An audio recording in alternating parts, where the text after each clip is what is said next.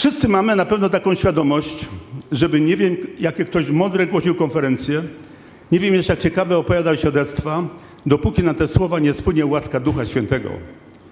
Nic z tego nie będzie. Pójdziemy do domu, zapomnimy. Jutro już nikt z Was nie będzie pamiętał o naszym dzisiejszym spotkaniu. Jedynie wtedy, kiedy spłynie łaska Ducha, może zostać poruszone przynajmniej jedno serce. I teraz co zrobić, żeby łaska Ducha Świętego spłynęła na te słowa z bereźnika i grzesznika wielkiego, jakim jest Budziaszek?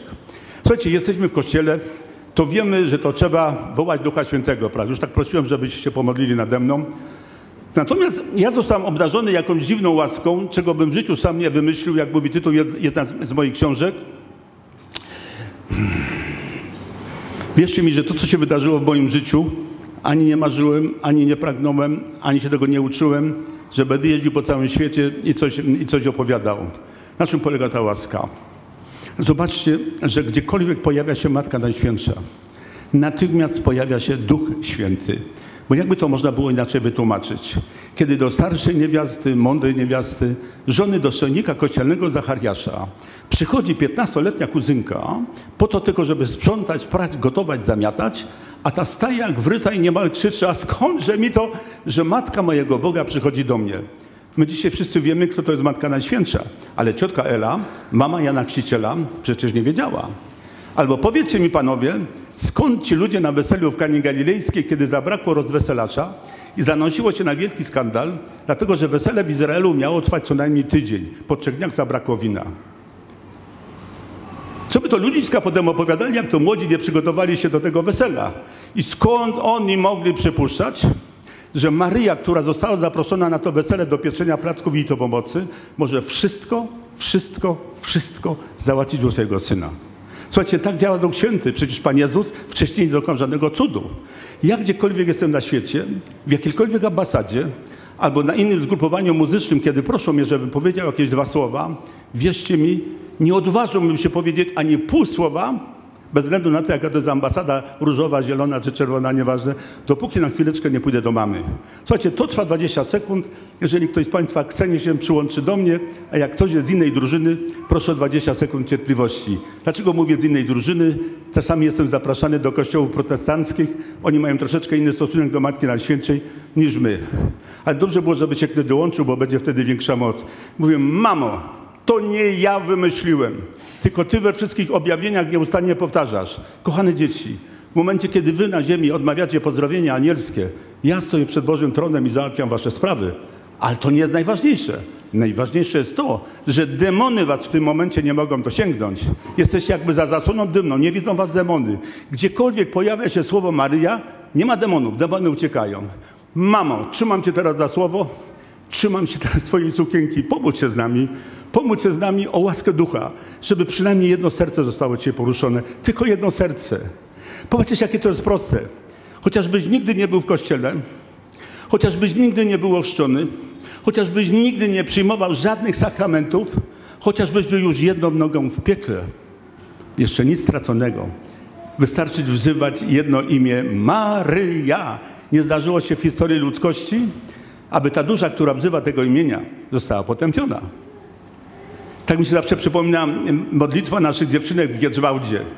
Pytają się Matki Bożej, kiedy nasi tatusiowie przestaną pić wódkę? A mama mówi, odmawiajcie różaniec. Kiedy na Warmii będzie można mówić po polsku?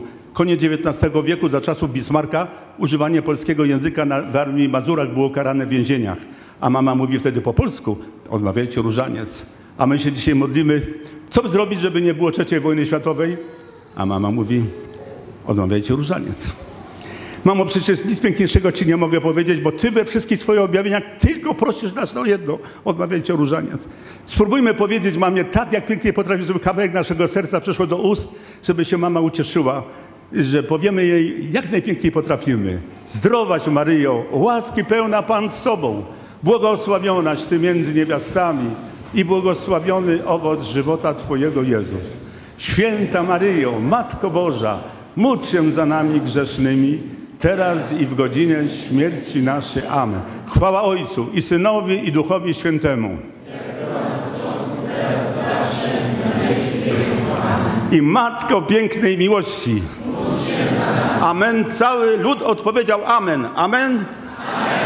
Oj, nie brzmi, tu nie słyszę mało, słyszę pierwszy szereg. Co by to, żeby to zabrzmiało? Amen? Amen. Amen, to znaczy niech się tak stanie i się stanie. Czemu stoicie? Siadajcie.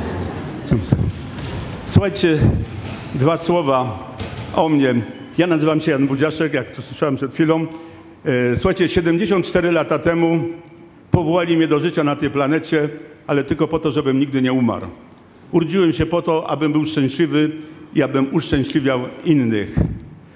Więc y, słuchajcie, nie wiem jak to się dzieje, ale zawsze najpiękniejsze dziewczyny siadają w pierwszym rzędzie. I muszę wam się do czegoś przyznać, koleżanki.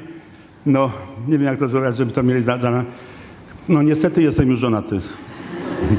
Co brata jestem żonaty dopiero pierwszy raz, ale za to od 50 lat mam dwójkę dorosłych dzieci już dawno po studiach, wnuki takie duże, duże. Nie. Aha, specjalnie teraz na spotkaniach z młodzieżą zawsze muszę dodawać za Jackiem Pulikowskim, że jestem żonaty z kobietą, żeby tu nie było żadnych wątpliwości. Młodzi ludzie, jak widzę, uśmiechają się. Sytuacja, jak wiecie, wcale nie jest taka śmieszna, bo chyba sobie wszyscy zdajemy z tego sprawę, że żyjemy w czasach ostatecznych, apokaliptycznych, gdzie szatan wyciągnął ostatnie armaty do szydzenia i, i do walki z Panem Bogiem. To jedna z tych armat. Niedawno miałem rekolekcję w katedrze moskiewskiej i tam się dowiedziałem, że kiedy w Moskwie chciano zorganizować paradę gejów i lesbijek, to metropolita moskiewski, zresztą prawosławny, powiedział, że po moim trupie ja nie mogę dopuścić do tego, żeby Moskwę spotkało to, co Sodomę i Gomorę. U nas to jakoś gładko to przechodzi, ale, ale to nic. Słuchajcie dalej. No to słyszeliście, że najbardziej w Polsce związany jestem E, zespołem Skaldowie i pracuję zawodowo od prawie 60 lat jako perkusista i tutaj bardzo proszę, żeby nie mylić dwóch pojęć, bo jak wiecie w każdym zespole dzielimy ludzi na muzyków i na perkusistów. Muzycy to są ci, którzy muszą umieć nastroić gitarę, muszą cię uczyć funkcji harmonii, a perkusista wystarczy, że ma trochę poczucia rytmu jak małpa i on może się załapać w każdym zespole. Tak was kiedyś ktoś pytał o Budziaszka, możecie śmiało powiedzieć, że jest to gość, który od ponad 50 lat pracuje zawodowo jako perkusista, młodzi ludzie dodają jako małpa, ale to właściwie na jedno wychodzi. Najbardziej w Polsce kojarzą mnie zespołem Skardowie. Słuchajcie, ta przygoda trwa. E, od jesieni zaczynamy 55 rok działalności. Jak to długo będzie trwało, nie wiadomo. Być może będzie z nami jak z Mieczysławem Fogiem. Nie wiem, czy wszyscy pamiętacie takiego piosenkarza jeszcze sprzed II wojny światowej. Jak skończył 80 lat, to się go dziennikarze pytali, panie Mieczysławie, czy pan tak długo będzie jeszcze jeździł i śpiewał? I on taki trochę częstosym głosem mówił, lekarz mnie przepisał do śmierci. I, I, być może dopiero jak zaczniemy po kolei umierać, ta przygoda się skończy. Na razie końca nie widać. E, jak będziecie już w domu, to możecie festiwal w, w Sopocie w czwartek wieczorem zobaczyć, że jeszcze żyjemy i jeszcze gramy wszyscy tak jak w 68 roku. Słuchajcie, ale nie dlatego zapraszają mnie gdzieś tam po całym świecie, E, że tu Skaldowie, zresztą z różnymi, w różnych formacjach muzycznych, też, głównie jazzowych, też objechałem kawał świata. Natomiast stała się, jeszcze raz mówię wam, dziwna sprawa w moim życiu, w czym jest zero, zero mojej zasługi. Od 35 lat piszę codziennie najwspanialszą historię, jaka kiedykolwiek wydarzyła się na kuli ziemskiej, najbardziej niesamowitą, czasami wręcz kryminalną. Jest to historia mojego życia. Z tym, że ta historia, ona jest ciekawa tylko i wyłącznie dla mnie. Dlaczego? Dlatego, że każdy z Was przeżywa taką jedną, jedyną, niepowtarzalną historię, która się nigdy wcześniej nie wydarzyła i nigdy się już później nie wydarzy. Historia każdego z Was jest 100 razy ciekawsza od mojej. To ktoś z Państwa może zapytać, to dlaczego Ty piszesz Budziaszku, a nie ja? Ja też o tym bardzo długo nie wiedziałem, ale teraz wiem na tysiąc procent. Wszystko w życiu jest łaską. To, że pozwolono nam się urodzić. Popatrzcie, ilu dzisiaj dzieciom nie pozwalają się urodzić. Dowiedziałem się ostatnio w Ameryce, że w zamachu na World Trade Center 11 września 2001 roku zginęło dokładnie, z dokładnością do jednego miejsca, tyle samo ludzi, ile codziennie statystycznie popełnia się aborcji w Stanach Zjednoczonych. 2977. W zamachu na World Trade Center zginęło dokładnie tyle samo ludzi, ile statystycznie popełnia się codziennie aborcji w Stanach Zjednoczonych. Także to, że pozwolono nam się urodzić, to jest łaska. To, że dzisiaj ktoś nam zgromadził w takim, a nie innym składzie, to jest łaska. Nie wiem, czy dotarło do was już kiedyś takie stwierdzenie, które możemy w księdze Jeremiasza przeczytać, jak Pan Bóg mówi, zanim utkałem Cię w łonie Twojej matki. Już Ciebie znałem, wszystko wiedziałem o Tobie. Już wtedy było tam napisane, zanim cywilizacja powstała na tej planecie, że my się dzisiaj w grudku spotkamy. Słuchajcie, szok. No szok to nie wyście mnie wybrali, to ja was wybrałem. Zobaczcie, że było 12 apostołów, a trzech było bardziej wybranych, Piotr, Jan, Jakub. To nie dlatego, że oni byli lepsi od pozostałych, tylko dostali większe zadanie. Tak samo zobaczcie, ilu waszych przyjaciół, lepszych od was, inteligentniejszych, może nawet pobożniejszych, nie ma i tutaj z nami. To wcale nie znaczy, że my jesteśmy lepsi. Dostaliśmy większe zadanie. Zawsze jak opowiadam o tej łasce, gdybyście tak ćwiczyli codziennie psalm 139, że jeszcze słowo nie powstało na języku, a ty już je znałeś, Panie. Ty wiesz, kiedy siadam, kiedy wstaję, wszystkie moje myśli nie są ci obce. I tam jest takie jedno zdanie, które mnie najbardziej poraża. Dni określone zostały, chociaż żaden z nich jeszcze nie nastał. Jeszcze raz mówię, o naszym spotkaniu u Pana Boga było zapisane przed wiekami. Zawsze młodzieży opowiadam, żeby łatwiej im było zrozumieć, o co mi chodzi naprawdę z tą łaską. To taki prosty przykład. Gdyby ktoś mojemu profesorowi poloniście, jak maturę zdawałem 55 lat temu, powiedział, że Budziaszek będzie pisał jakieś artykuły, nie daj Boże z tego powstanie jakaś książka, to by się przewrócił ze śmiechu z całym gronem pedagogicznym. Na pewno by powiedział, Budziaszek, ten Ben trwał po moim trupie. A tu się stało rzeczywiście po jego trupie, bo, bo, bo to był stary, zacny profesor, a ja zacząłem pisać 20 lat po maturze, ponieważ dla Pana Boga nie ma rzeczy niemożliwych, to mało, że książka, to tych książek, słuchajcie, jest 15, są tłumaczone na różne języki, nawet tutaj Chrystusowcy wydali jedną z moich książeczek w ogóle w języku e, angielskim, zresztą bardzo, bardzo pięknie, y, słuchajcie, i ona się wciąż pisze, codziennie pisze, codziennie pisze od 35 lat. Słuchajcie, o czym ja tam piszę? Ja odnoszę wrażenie, jakbym brał udział w jakiejś genialnej sztuce teatralnej, gdzie ja jestem aktorem, na tą sztuką czuwa jakiś fenomenalny reżyser, który mówi do mnie codziennie na pobudkę, kiedy rozważam pierwszą tajemnicę różańca. Zresztą taka jeszcze łaska. Ja dostałem taką łaskę, że nie wstanę inaczej z łóżka bez względu na to, czy śpię 5 minut czy 10 godzin, dopóki nie odmówię pierwszej dziesiątki różańca w, w szkole Maryi. Słuchajcie, całe nasze życie, twoje, moje, można zupełnie śmiało nazwać, codziennie dajesz mi znaki, a ja wciąż szukam zupełnie innych znaków. W momencie, kiedy życie tylko zobaczyliśmy światło dzienne, od razu wszyscy dostajemy od Pana Boga znaki. I słuchajcie, tych znaków w pierwszym, pierwszy, trzeci dzienniczka perkusisty jest tych znaków mnóstwo. Nie wiedziałem w ogóle, mm, co tu ruszyć, ale powiem wam taki jeden, jeden z takich znaków. Słuchajcie, w 1985 e, roku grałem w Pinicy pod Baranami w Krakowie cykl koncertów z najwybitniejszym według mnie jazzowym saksofonistą Polsce Januszem Muniakiem świętej pamięci. I słuchajcie, to taka muzyka bossanowa, od nowa się to nazywało. Bossanowa są to kompozycje brazylijskiego kompozytora Jobima. To taka muzyka, gdzie mogą i grają i jazzmeni, i muzyka rozrywkowa. Ona się nadaje do tańca. Zresztą taką muzykę może zagrać każdy, nawet na bębnach, nawet taki bęcwał jak ja. Bo to sobie, każdy sobie może z was coś takiego zrobić.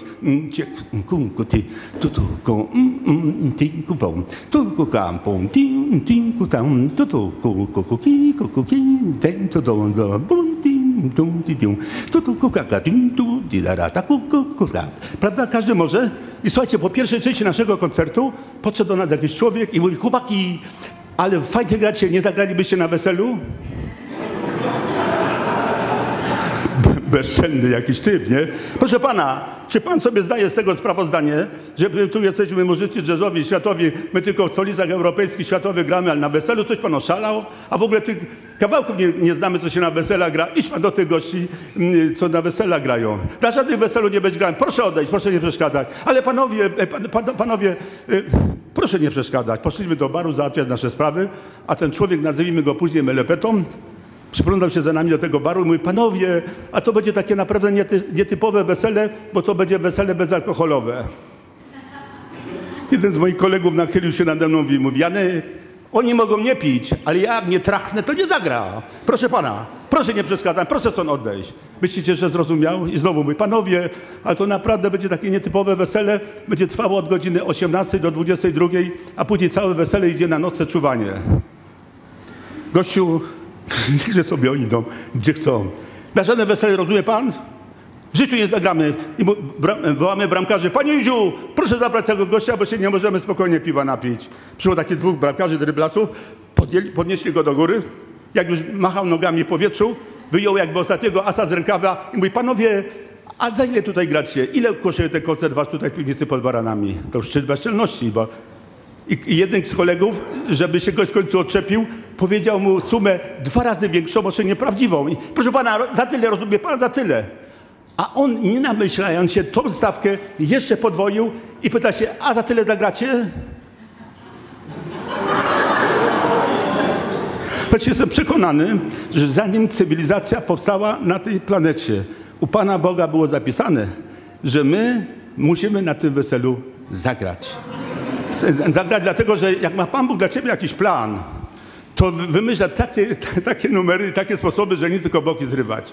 Słuchajcie, nie wiem, czy pamiętacie, rok 85, bo to był już rok po mojej zresztą pielgrzymce pierwszej na Bosaka do Częstochowy, że też poszedłem tylko Niemców odprowadzić na Wawel i nie wiem, jak to się stało. Po sześciu dniach bez kromki chleba, bez szetetki do zębów na Bosaka pod koszulką wylądowałem na Jasnej Górze, ani jeszcze nie szedłem modlić, nie miałem żadnych intencji.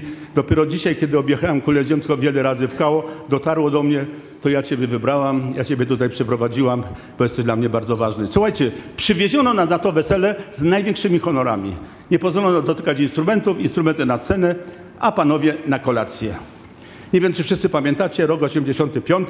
Słuchajcie, na pustkach sklepowych w Polsce wszystko musztarda i ocet, a tam na tych stołach uginało się od wszelkiego rodzaju żarła. Oczywiście wódki nie było, ale mało tego, że było wszystkiego. Słuchajcie, owoce jakieś południowe. Jak ja chciał, chciałem pokazać moim dzieciom, jak wygląda banan y, y, czy, czy ananas, to jeździłem na trasę do Niemiec i dopiero z zachodu przywoziłem jakieś owoce, a to w Polsce w ogóle nic. Tam tego wszystkiego było, słuchajcie, a było tak jeszcze pięknie udekorowane.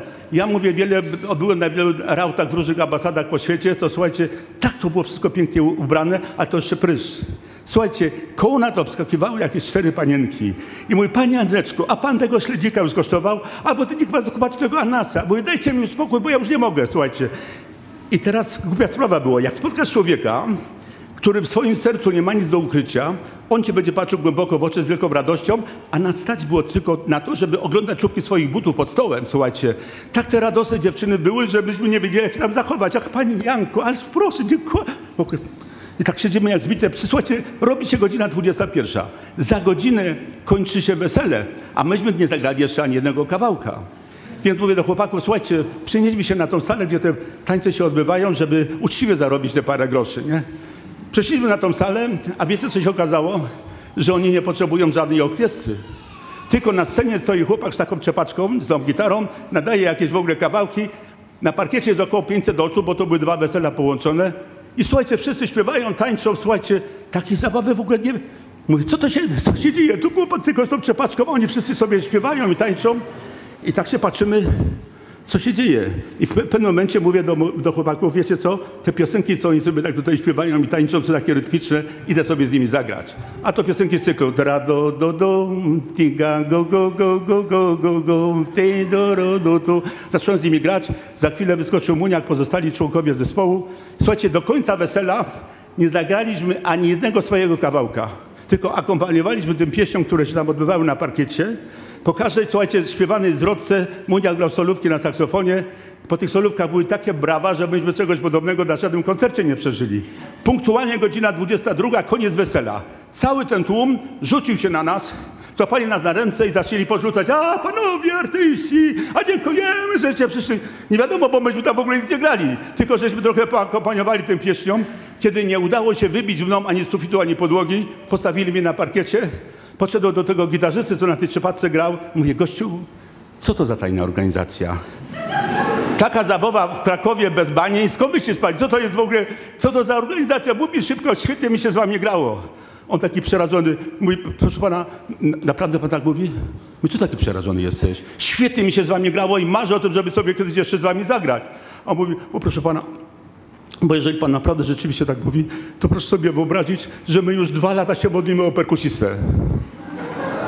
My co to kiepsko się modlicie? Już dwa lata temu powinien z wami grać.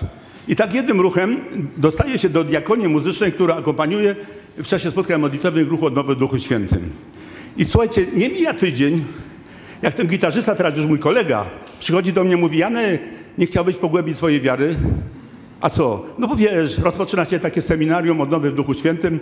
E, to jest 50 dni medytacji z Pismem Świętym, a to się wszystko łączy modlitwą e, z nałożeniem rąk o wylanie Ducha Świętego. A w życiu nie byłem na żadnym spotkaniu, nie wiem, co to się robi. On mówi, kup sobie tylko Pismo Święte, słuchajcie, to się przyda, nie? I słuchajcie, wchodzę na pierwsze spotkanie z cyklu e, e, Ruchu Odnowy Duchu Świętym. E, byłem kilkanaście minut spóźniony. Otwieram, otwieram drzwi u Dominikanów w krypcie w Krakowie. Widzę tam ze 150 młodzieży, mają wszyscy ręce podniesione do góry i waklują. I Duchu Święty, przyjdź Duchu Święty, boskie, co to jest? Mówię, mówię też, trzymam te otwarte drzwi, nie wiem czy uciekać, czy wejść do, czy wejść do środka, ale ci to tak pięknie się modlili, słuchajcie, zaczęli się oglądać, co to za intruz im przeszkadza w tej modlitwie. Więc, żeby nie robić zawieruchy, usiadłem sobie w kąciku. Słuchajcie, słucham. Jak oni się umieli modlić, jak oni umieli prosić, przepraszać, uwielbiać. Mówię, kurczę, gdzie oni się tego nauczyli? I słuchajcie, koniec spotkania i lider rozdaje tematy do rozważenia na cały tydzień. Na cały, na, na cały tydzień i nie miałem kartki, tylko miałem to Pismo Święte. Się taki chłopak, e, chłopak widzi moją bezradność, oderwał swoje kawałek kartki i coś mi tam napisał. I daje mi tą kartkę, a ja czytam. MT47, ŁK816. Co mi za robaczki, jakie tutaj popisałeś, moje kolego? On, on mówi, to są skróty y, y, tytułów z ksiąg Pisma Świętego, znajdzie sobie pan na, na końcu tego pisma. I słuchajcie, na drugi czy na trzeci dzień był do rozważenia maleńki fragmencik Ewangelii Świętego Jana, gdzie Pan Jezus mówi, że złodziej przychodzi nocą, żeby kraść i zabijać, a ja przyszedłem po to, żeby owce moje miały życie i miały je w obfitości. I teraz wiesz, musisz chodzić cały dzień z tym tekstem, co też Pan Bóg Ci chce powiedzieć. Słuchajcie, chodzę i męczę. No nie pracujemy za nic, bo z jednej strony Pan Jezus mówi, że prawdziwa miłość może się narodzić w ubóstwie, prawda? A tutaj nie, nie, nie gromadźcie swoich skarbów, a Pan Jezus mówi, owce, moje owce będą miały życie w obfitości. I słuchajcie, kładą cię spać, koło łóżka leżała gazeta i na marginesie napisałem pierwsze moje spotkanie z Pismem Świętym. Odkrycie. Człowiek biedny i człowiek bogaty. Chociażbyś miał górę złota, 70 samochodów i 150 pałaców, jeżeli czegokolwiek w życiu będziesz potrzebował, zawsze będziesz biedny. A ten człowiek, który czuje w swoim sercu, że wszystko co ma, ma w nadmiarze, w związku z czym ma tylko na rozdawanie, to jest najbogatszy człowiek na świecie. Moje pierwsze spotkanie z Pismem Świętym, słuchajcie, eureka, odkrycie. I potem na drugi dzień otworzyłem Pismo Święte i znowu dycha, i znowu dycha. A potem się okazało, że każda sekunda na tej planecie przeżyta to jest jeden wielki cud. Jeden wielki cud. I tak zaczął powstawać Dzienniczek Perkusisty. Teraz jest siedem tomów e, e, tego się ukazało. Teraz będziemy składać, składać ósmy, że wszystko jest naprawdę wielkim cudem. I teraz in, inny przykład. Miałem jakieś problemy. Jeszcze e, miałem w ogóle krzywę, jak wiecie, może nie wiecie, w Krakowie Jan Budziaszek, wytwórnia flaszek. Słuchajcie, produkowałem bimber, hodowałem marihuanę, robiłem, robiłem różne rzeczy i słuchajcie, miałem kiedyś jakiś problem.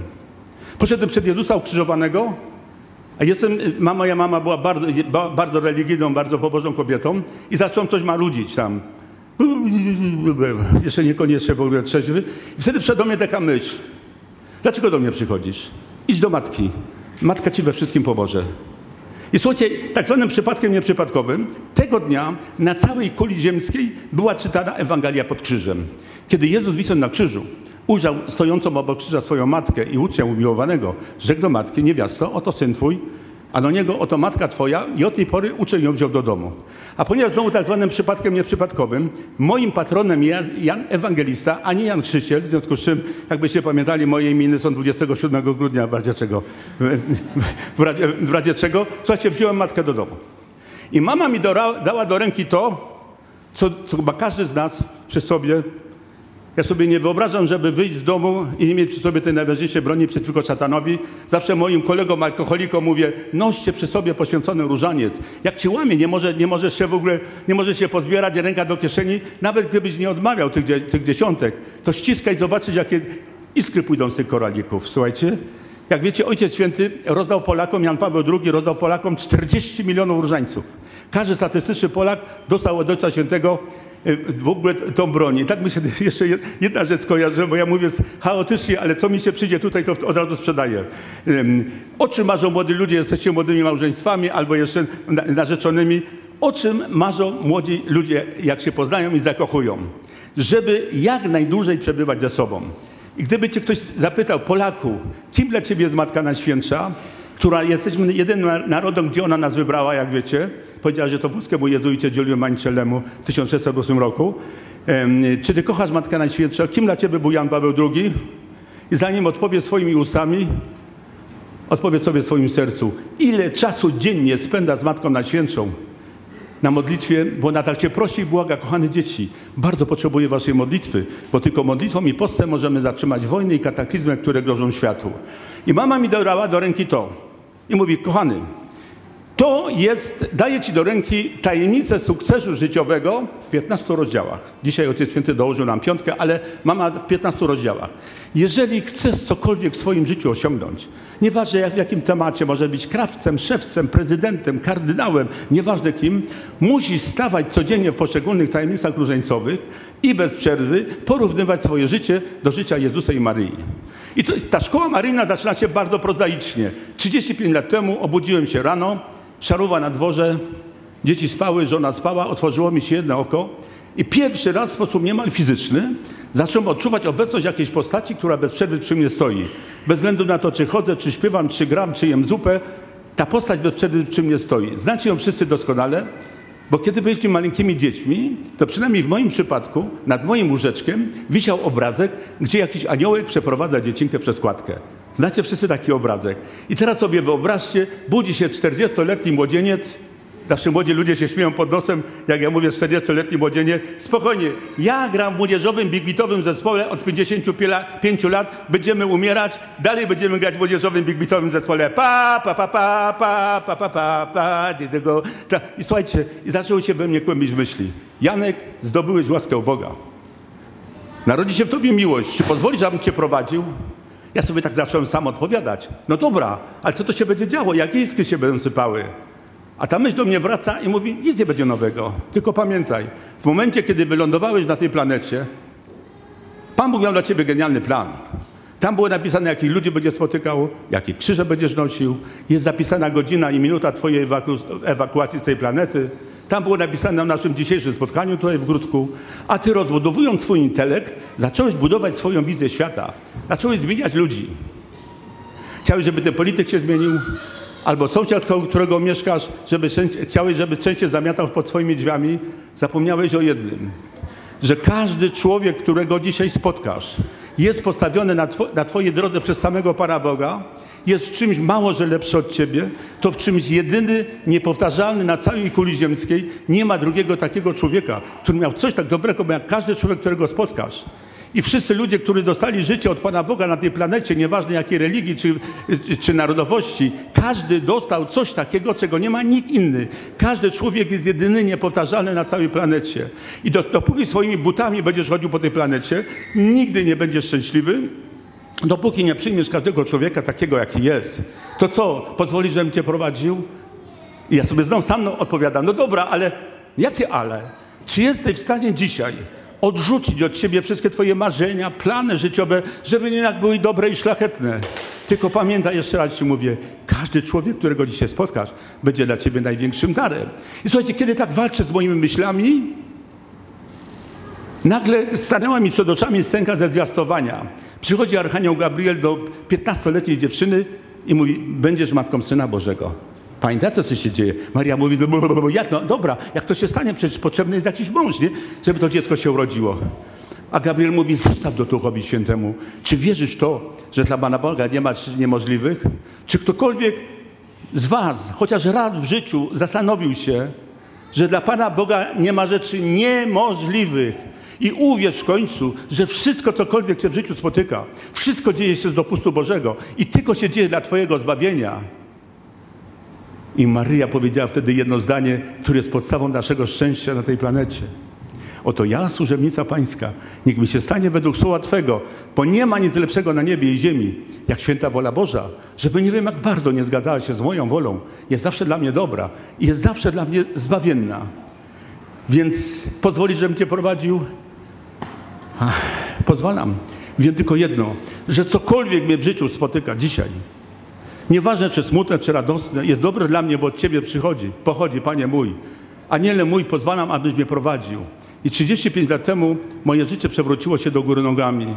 Od tej pory nie odważyłbym się pójść do jakiegokolwiek wydawnictwa, żeby ktoś wydał jakieś moje myśli czy moją książkę. Nie odważyłbym się pójść do jakiegokolwiek duszpasterza. Tak jak tutaj żeby mnie ktoś zaprosił na jednorazowe spotkanie na całe, czy na całe rekolekcje. Bez przerwy mnie ktoś zaprasza. Jak nie do więzienia, do środka dla narkomanów, do szkół, do parafii, do seminariów duchownych i to po całym świecie. Wiecie, jakie mam czasem śmieszne momenty? Jestem zaproszony do jakiegoś seminarium, niekoniecznie w Polsce. Staję przed profesorami od teologii, od wiary i mówię, co wyście oszaleli? Tu byli jaki bębnista, ma wam głosić rekolekcję czy prowadzić dni skupienia, jak ja się w ogóle tego nie uczyłem. Jeszcze nigdy nie wiem, o czym będę opowiadał. Ale zapraszają mnie, to jadę. Słuchajcie, widzę, czas leci. Jeden przykład, jak ważny jest każdy człowiek. Słuchajcie, jeden na jeden z moich pierwszych wyjazdów rekolekcyjnych jechałem do maleńkiej miejscowości Kozy na południu Polski, między Kętami a Bielskiem Białą. Jest taka bardzo duża wieś, czy małe miasteczko, autobusy się tam pospiesznie nie zatrzymują. Nie miałem jeszcze wtedy taksówki służbowej, którą dostałem od Matki Bożej później. I proboszcz, który mnie zapraszał na te rekolekcje, mówi, Panie Janku, jak Pan będzie do nas jechał, proszę poprosić kierowcę, jak będziecie planowo stali w Kętach, żeby się Panu zatrzymał w Kozach, to może się Panu w tych Kozach zatrzyma. Słuchajcie, siadłem do pierwszego autobusu i relacji Kraków-Czeszyn, bo to na tym odcinku się znajduje o godzinie 6 rano, przed świętami. Bardzo dużo ludzi, dużo, dużo ludzi na stojąco. Kierowca odpalił swoją taksówkę i od razu włączył magnetofon. I z magnetofonu popłynęły dźwięki, była wtedy bardzo popularna piosenka chodnikowa. Dzisiaj troszeczkę zamieniło się to w disco polo, ale treści są bardzo podobne. W cyklu jedna baba, drugiej babie wsadziła. I słuchajcie, konsternacja w autobusie. Jakiś mężczyzna podniósł się z tyłu i krzyczy do tego kierowcy. Panie kierowco, niech pan natychmiast wyłączy ten magnetofon. Proszę wyłączyć ten magnetofon. Co pana tu będzie puszczał? A z przodu autobusu siedziała taka bardzo elegancka pani, koło 30, pamiętam, w kapelusiku. Ona się odwróciła teraz do tego faceta do tyłu i krzyczy przez cały autobus. Gbur jakiś! Nie podoba mu się! To niech wysiada! A do tego kierowcy się odwrócił. Panie kierowco, niech pan gra, niech pan gra takie piękne piosenki, to będzie nam wesoło. Ja sam myślę, no to cześć, za chwilę będę musiał podejść do kierowcy i poprosić go, żeby mnie się zatrzymał w kozach. To nie ma siły, żeby mnie się zatrzymał. Ale po godzinie jazdy planowo stoimy w Kętach. Ja po to do, tego kierowcy, y, on sobie jeszcze coś notuje, siedzi za kierownicą. Dzień dobry panu, bardzo pana przepraszam. Czego tam? Czy by pan nie był taki uprzejmy i dzisiaj wyjątkowo nie zwolnił troszeczkę tej pańskiej taksówki w kozach, to ja sobie wyskoczę? Kierowca odwrócił się do mnie z kamienną twarzą i mówi: Nienawidzę kóz! Nie ma takiej możliwości. Wie pan, bardzo pana przepraszam, ja pierwszy raz w życiu do tych kuz jadę i być może, że po tej mojej pierwszej wizycie też nie zapałam wielką miłością do tych mieszkańców, ale wie pan, jadę na rekolekcję. Pierwsze spotkanie mam o godzinie ósmej. Jeżeli teraz nie wysiądę, to nie, będę, czy, nie wiem, czy będę miał jakieś połączenie, a jeżeli się nie da, no to bardzo pana przepraszam.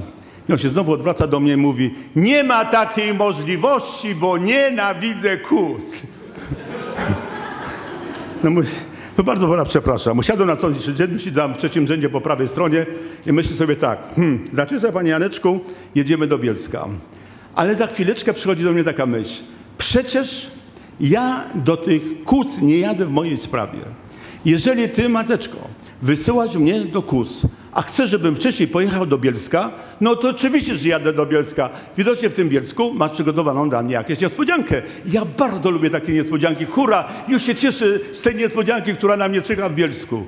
Ale za chwileczkę kolejna myśl. Mówię, mamo, czy wiecie, jaka jest najbardziej bolesna choroba na świecie? Wiecie, jaka jest najbardziej bolesna choroba na świecie, dziewczyny? Dziewczyny, nie wiecie? Jak bardzo cierpią ludzie, którzy nie potrafią przebaczać. Najbardziej bolesną chorobą na świecie jest choroba nienawiści. Nie że sami, sami cierpią, to jeszcze zarażają swoją najbliższą okolicę. I mówię, mateczko kochana, jak Ci dziękuję za to Bielsko, jak Ci dziękuję za tą niespodziankę, tylko proszę Cię, nie dałoby się chociaż troszeczkę tej choroby nienawiści zabrać temu kierowcy, chociaż troszeczkę, proszę Cię, wiem, że Ty możesz wszystko wyprosić u swojego syna. I słuchajcie, muszę Wam się przyznać do jednej rzeczy, może ktoś bardziej wytłumaczy, na czym to polega. W moim życiu nigdy Nigdy nie kupiłem sobie sam różańca. A od kiedy zacząłem pisać dzienniczek perkusisty, nie ma tygodnia, żeby ktoś nie podarował mi różańca. Mam taką kolekcję różańców z całego świata, żebyś w życiu nie wymyślił kształtnych figur. I teraz gdzie włożę rękę do, do, kieszeni kurtki spodni? Wszędzie mam to urządzenie. Włożyłem rękę do kieszeni kurtki, natknąłem się oczywiście na to. Jak wiecie, tutaj na początku są trzy koraliki. Pierwszy mówi o wierze, drugi mówi o nadziei, a trzeci mówi Love, love, love mówi o miłości. Słuchajcie, złapałem ten trzeci i ściskam o soki, nie poszły tego drewnianego koralika i mówię, mateczko, jak ci dziękuję za to Bielsko, za tą niespodziankę, tylko proszę cię, chociaż troszeczkę tej choroby nienawiści zabierz mi temu kierowcy, co? No i zdrowaś Maryjo, łaski pełna Pan z Tobą, błogosławionaś Ty, dalej to chyba znacie. Słuchajcie, po kilkunastu minutach jazdy pojawiła się w oknie biała tablica z napisem kozy. Mówię, no kochane kozy, jadę do Was, ale wysyłają mnie wcześniej do Bielska. Wrócę tu może za godzinę, może za dwie, nie wiem jakie będę miał połączenie. Wrócę na pewno, czekajcie, na razie Jasiu jedzie do Bielska, cześć, tablica mignęła. Ja odwróciłem głowę do okna i jakimś dziwnym trafem spotkałem się z oczami tego kierowcy w lusterku nad jego głową. Żebyście zobaczyli, jak mi się zrobiło głupio, bo to ja byłem autorem całej tej niezręcznej sytuacji i sobie pomyślałem, ależ narobił bigosu pani Janeczko, jej, jej, jej, jej. Ale kątem oka zobaczyłem, że kierowca jakoś dziwnie, niespokojnie poruszył się na swoim siedzeniu. Więc podniosłem głowę i zobaczyłem taki obrazek. Kierowca trzyma swoją dużą kierownicę. Jeszcze w autobusach kierowcy ciężarówek mają takie duże kierownice jeszcze w płaszczyźnie poziomej. Podejrzewam, że miał chyba luzy na kierownicy, bo jedzie i cały czas wakluje, korygując kierunek lotu. Jedzie i wakluje. Bach. I w pewnym momencie zaczął się powoli odwracać do mnie i zrobił taki dziwny gest. Tu jedzie, tu wakluje, powoli się odwraca.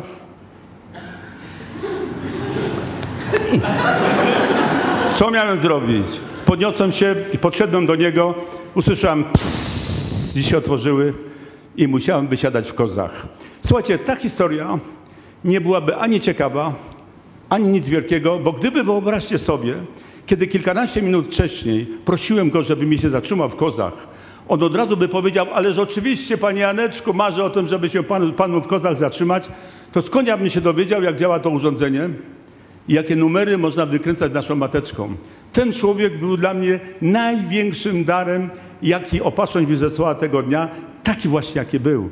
Dzięki niemu odkryłem, na czym to wszystko polega i jakie numery można jeszcze, mówię, z naszą mateczką wykręcać. I dzisiaj po latach dodaję sobie taką opowieść, może nieprawdziwą, może to moja zbyt wybojała wyobraźnia, bo kto wie, czy temu fantastycznemu facetowi, który zatrzymał mi się w kozach bez najmniejszej złotówki, to był rzeczywiście fantastyczny facet. Jego najukochańsza małżonka na przykład przed wyjściem do pracy nie, mu, nie przyłożyła mu żelazka do pleców, zdarzają się takie numery, no i chłopi nie było ciężko. Moje oczy widziały, że jest nieuprzejmy niegrzeczny, ale co spowodowało, że mu jest ciężko, już mnie nie interesowało. Jeszcze raz wam mówię, ten człowiek był dla mnie największym darem, jaki opatrzać mnie zesłała tego dnia. Słuchajcie, to mamy dopiero pierwszą tajemnicę w skrócie, w skrócie. Tajemnic jest dużo, w każdej tajemnicy jest jakaś opowieść, ale niestety widzę, że czas się mój kończył. I teraz słuchajcie, między wami, jeśli jest jeden człowiek, słownie jeden, który czuje, że nie stracił tej godziny na spotkaniu z Budziaszkiem, podziękujmy Matce Bożej, która nas tu dzisiaj zebrała. Powierzcie mi, że to nie myśmy wymyślili. Jak Panie mówi, to nie wyście mnie wybrali, to ja was wybrałam. I posłałem was na to, abyście szli i owoc przynosili i by owoc wasz trwał. Nie wiem, czy tylko przypomnę, że jeżeli komukolwiek z was wydaje się, że Maryja jest królową Polski dopiero od 1 kwietnia 1656 roku, kiedy król Jan Kazimierz złożył swoją koronę przed obrazem Matki Bożej Łaskawej, a wcześniej, kiedy nawałnica szła przez Polskę, to zarówno król, jak i episkopat pisali błagalne listy do papieża o ratunek. Papież Aleksander VII mówi, czemu do mnie przychodzicie? Czemu do mnie przychodzicie? idźcie do matki. Ona was wybrała. Do niej idźcie. I dopiero wtedy Jan Kazimierz wraca, wraca z emigracji, z wygnania, jedzie do Lwowa i składa swoją ofiarę przed obrazem Matki Bożej, a potem zresztą sobie już sam nałożył z powrotem. Ale słuchajcie, E, wielki przyjaciel, nauczyciel Stanisława Kostki, Giulio Mancelli, 50 lat po śmierci Stanisława Kostki, bo on umiera w 1565, e, on miał wielkie nabożeństwo do Matki Bożej i ma ekstazę w nocy 14 na 15 sierpnia 1608 roku. On się zawsze do niej modlił w niebowzięta, w niebowzięta, módlcie za nami. Ma ekstazę, widzi Matkę Najświętszą w koronie, przed nią klęczy Stanisław Kostka, 50 lat po śmierci Stanisława Kostki i mówi w niebo wzięta, w niebo wzięta, módlcie za nami. A Matka Boża mówi, ty Giulio, dlaczego ty nie nazywasz mnie królową Polski? Ja ten naród wybrałem przed wiekami, będzie mi wierny do samego końca, mam dla niego wspaniały plan. Zawsze nazywa mnie królową Polski. I Giulio Manicelli postanowił przyjechać do Polski, zaproszony przez Zygmunta III Wadzę i przez Piotra Skargię. Przychodzi na Wawel w święto patronalne biskupa krakowskiego Stanisława, który był patronem Stanisława Kockiego. On się chciał pokłonić relikwią biskupa krakowskiego Stanisława. Święto patronalne biskupa 8 maja 1610 roku. Znowu w czasie mszy świętej ma ekstazę i znowu Matka Boża mówi Giulio, gdziekolwiek będziesz na świecie, Nazywaj mnie zawsze królową Polski. Dziesięć lat później mieszczanie krakowscy umieścili na wieży Kościoła Mariackiego w Krakowie złotą koronę, którą możemy oglądać do dnia dzisiejszego. To nie to, że my Polacy jesteśmy tacy cacy. Dostaliśmy większe zadanie, większe zadanie od innych narodów. Nawet piękne takie są orędzie Matki Bożej do Polaków. To biskup Dzięga ze Szczecina, to taki człowiek Polak to w ogóle pisał, że Matka Boża mówi, jeżeli zostaliście wybrani przez Pana Jezusa, jak wiecie, znowu Pan Jezus mówi, do całego świata przez Polaków, przez siostrę Faustynę. Jeżeli Polska będzie posłuszna mojej woli, wywyższę w swojej potędze i świętości, a z narodu tego wyjdzie iskra, która przygotuje świat na moje ostateczne przyjście. Jeżeli zostajecie wybrani przez Pana Jezusa też, musicie przeżyć to wszystko, co On przeżył. Włącznie z otrąceniem, włącznie z zabiciem. Dopiero Polska chyba musi umrzeć, żeby zmartwychwstać, ale na razie, słuchajcie, cieszmy się, że możemy tak się spotykać tutaj w takim gronie, tutaj w Grudku, bo ja też z rekolekcji na rekolekcji jeżdżę. Mamy dużo wspaniałej młodzieży w Polsce i dlatego też, słuchajcie, mówię, jeżeli między wami jest jeden człowiek, słownie jeden, który czuje, że nie stracił tej, tego czasu na spotkaniu z Budziaszkiem, postarajmy się powiedzieć mamie, to, o co na nas prosi we wszystkich swoich objawieniach, tylko o to. Ale postarajmy się powiedzieć, jak najpiękniej potrafimy, żeby się mama uśmiechnęła i ucieszyła, że do nas dotarło, kochane dzieci, w momencie, kiedy wy na ziemi odmawiacie pozdrowienia anielskie, ja stoję przed Bożym Tronem, załatwiam wasze sprawy, ale to nie jest najważniejsze. Najważniejsze jest to, że demony was w tym momencie nie mogą dosięgnąć. Gdziekolwiek pojawia się słowo Maryja, nie ma demonów, demony uciekają. Mamo, nic piękniejszego ci nie potrafię powiedzieć, jak tylko to, o co mnie tak bardzo prosisz. Nie wiem, czy, ale postaram się, jak najpiękniej potrafię. Zdrowaś Maryjo, łaski pełna Pan z Tobą. Błogosławionaś Ty między niewiastami i błogosławiony owoc żywota Twojego Jezus. Święta Maryjo, Matko Boża, módl się za nami grzesznymi, teraz i w godzinę śmierci naszej. Amen. Chwała Ojcu i Synowi i Duchowi Świętemu.